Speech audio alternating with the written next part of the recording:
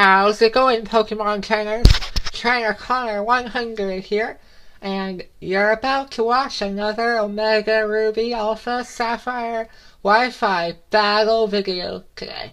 If you enjoy this Wi-Fi battle video, you can hit that like button, and as always, subscribe for more Wi-Fi battles, because I got myself back together here, getting back to Wi-Fi battling, and yeah, so I got my new DS and everything. Twitter uh, has everything that you need to know about that because I posted like every little thing that was going on getting my DS and whatnot. It was a fun day uh, getting my new DS. So everything looks kind of clear. I'll fix the lighting a little bit for the next upload, but for right now, I like it. Uh, today's battle is a passerby battle again, and if you look at this matchup, it looks easy on paper, but you're gonna see just how interesting that one Pokemon can really affect you throughout the whole match. You'll see what I mean throughout this battle. Hope you guys enjoy. He's gonna start out with a Gastrodon. I'm gonna start out with Rosemary here. Rosemary is, of course, my Roserade. I figured he might not want to stay in on a Roserade like that, so I took this as a chance to hopefully put the Metagross coming in to sleep here, but he uh dodges both of my sleep powders and we get hit by an ice punch. Not looking too bright there, but fortunately we hit this one and we put the Metagross to sleep there, which is awesome.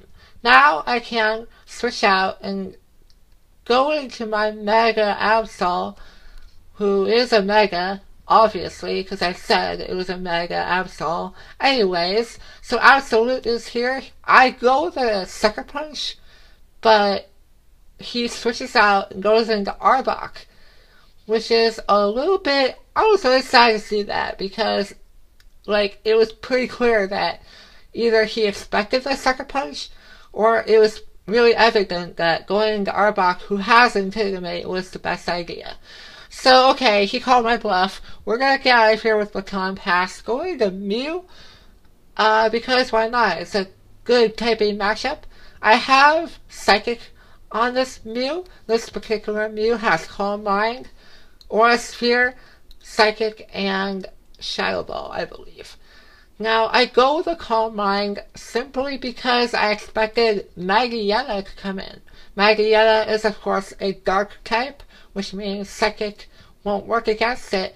I was a little bit surprised to see that he has Sucker Punch, which is a little bit unfortunate because at that level of HP that my Mew is at, my Life Orb is going to take me out.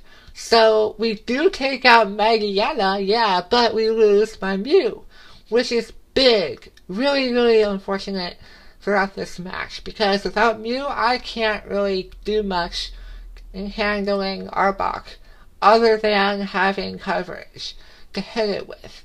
So on that double down, which are definitely the best types of downs there is in this whole society thing, I don't know.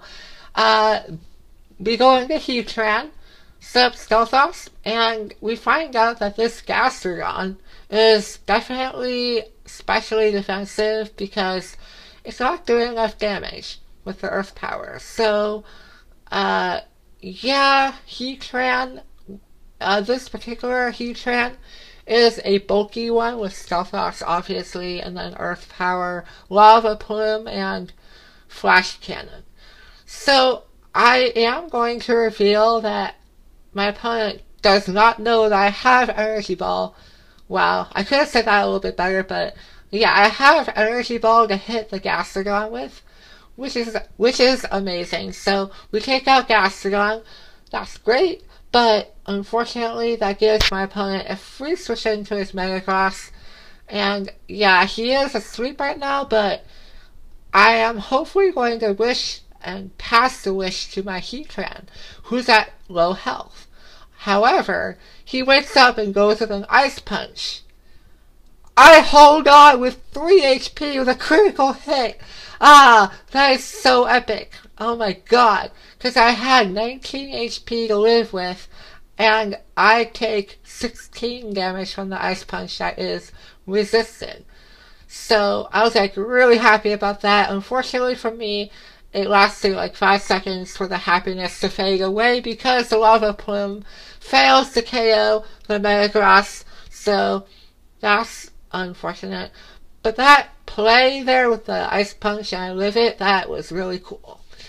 Now I I again go with another sucker punch which was really dumb because obviously Arbok is coming in with that Intimidate, and so I'm forced to go with another baton pass. And without Mew, how am I going to handle this thing? I decided to go into Hercules, my awesome Heracross, whose choice scarf in this battle. I go a Stone Edge, and that is pitiful of damage right there. It's not doing enough right now. Obviously, the Arbok is setting up with coils. That sucks because now he can basically run train to my entire team. If he keeps setting up the way he is doing it right now. Uh, so, the fastest thing I have right now, and that's just not including Hercules right now because he's short scarfed, is actually Rosemary. So we'll put this thing to sleep here. That's my main objective. Uh, and I have Psychic on Rosa the Forges, which is great. However, this sucks. Watch what happens. Yeah, see that this is why I hate Pokemon sometimes because you never know. Yeah, he got a critical hit as well to add another insult to injury there. Ah, uh, uh, so yeah, a little bit of hacks there. So now at this point, I don't really have an answer for Arbok. We'll put him to sleep again, but like seriously though, why would I do that? Because I obviously don't have anything else to hit the Arbok with. I go with a leaf storm. This Roserade is a little bit weird. It has Sleep Powder, Leaf Storm, Sludge Bomb, and Toxic Spikes. Um, the reason I didn't go with Toxic Spikes in the beginning is because he has a poison type, which is Arbok. So if I end up setting up Toxic Spikes, the Arbok would just get rid of them because he's a poison type. So, all of that aside, uh, he wakes up and just kills me off with a gunk shot once more. I go with a play rough because why not? I'm the moves I have on Mega Absol are not going to do anything. I do lower his attack with play rough, but that's not going to save me, unfortunately. So that leaves with just my Hercules choice scarf, and I really don't have a choice but just go with a Stone Edge and hopefully get a kill with a critical hit because I would like to get one. So that way we can have a moral victory. Meaning I could take out Arbok, but I wouldn't want to win this battle. Because I can't win this battle because, you know, we didn't take out Charizard or Krookodile or any of those guys. We haven't seen them in the whole match. So, yeah, there's a moral to this battle don't underestimate the power of lower class Pokemon.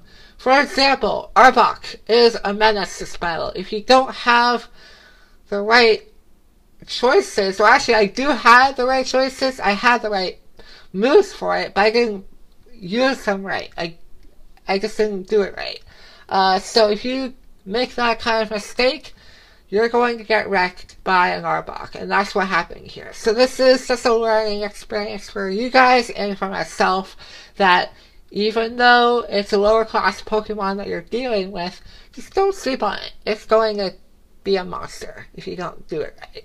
Alright, that's the battle for you. If you enjoyed this battle, you can hit that like button, subscribe, and I will see you guys for week four of the ICL, and I will hopefully get some Kanto Classic matches going on too, which is another Wi-Fi competition that I'm going to participate in, celebrating the first generation of Pokemon games this year.